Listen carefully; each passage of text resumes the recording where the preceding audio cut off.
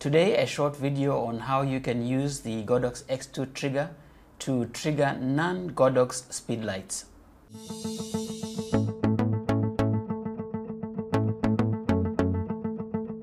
Let me show you a small hack that you can use so that you can trigger non-Godox flashes with this uh, Godox unit. You can get these flash triggers. These are called transceivers and these particular ones are for Yongnuo and they're built for Canon.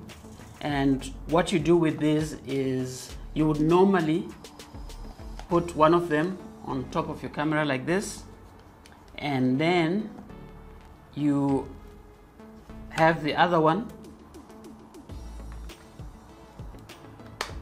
on your flash unit so the one on your camera now acts as your transmitter and the one on your flash unit acts as your receiver when you take a photo.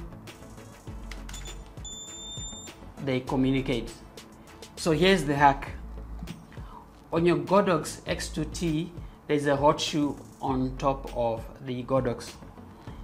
If I place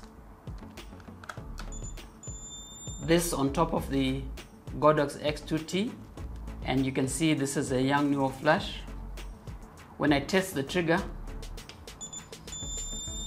so my trigger, my Godox trigger is sending a signal to my Yongnuo transceiver. The transceiver is sending a signal to the second one which is acting as a receiver. So I'm able to trigger a Yongnuo flash using a Godox trigger. The only thing is you cannot control the power settings of this flash unit. I can buy many of these transceivers so I can trigger as many flash units as I want using this uh, Godox and then I can also set up other flashes using the groups for this Godox to trigger wirelessly. The speed light on which this uh, receiver is connected doesn't even have to have any wireless capability. So I can use this on a really old speed light like this ProMaster which has a single pin at the bottom so when I connect this to the speed light, turn the speed light on, then I test it, see the it triggers the speed light. With this simple hack, I can trigger all these lights. Those that are not Godox brands, I will trigger them using the transceivers on top of my X2T. And then the Godox, I would just set this to the wireless mode and make sure it's set up on the X2T to be triggered by the X2T and when I test all the lights fire.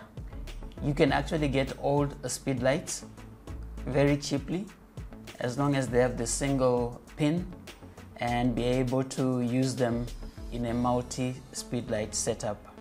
So that's a small hack that you can use. These are relatively inexpensive.